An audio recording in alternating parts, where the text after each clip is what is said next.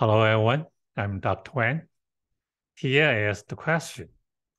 Proof 1 over log of n to the base 2 plus 1 over log of n to the base 3 plus 1 over log of n to the base 4 plus until plus 1 over log of n to the base 100 equals 1 over log of n to the base of 100 factorial.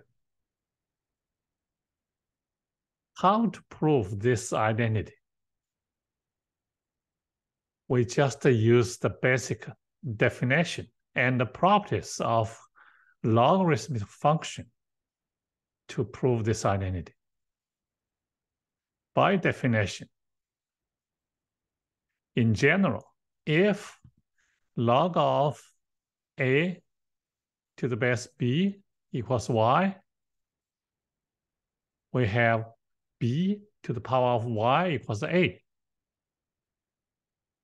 Taking y's root on both sides of this equation, then we have b equals a to the power of 1 over y. Use the definition again. Back to the log function. Then we have log of b to the base a equals 1 over y. What is y? y equals log of a to the base b. Replace y by log of a to the base b. We have log of b to the base a equals 1 over log of a to the base b. This is the important result we are going to apply to prove this identity.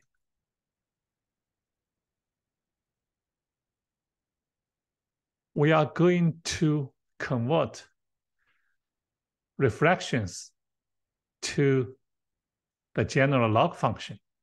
That means we want to get rid of denominators for this summation apply each term by this result. Then we have log of 2 to the base n plus log of 3 to the base n plus log of 4 to the base n plus until plus log of 100 to the base n. Here is the basic property of log function. The sum of two log functions to the same base equals log of the product of the two numbers to the same base A. Apply this result to the right-hand side. It equals log of 2 times 3 times 4 until times 100 to the same base n.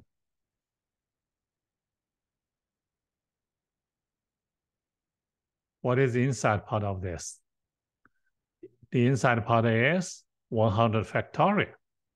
Therefore, it is equal to log of 100 factorial to the base n.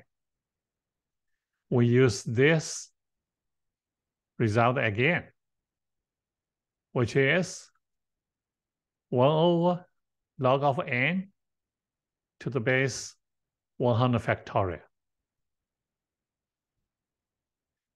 We have done the proof.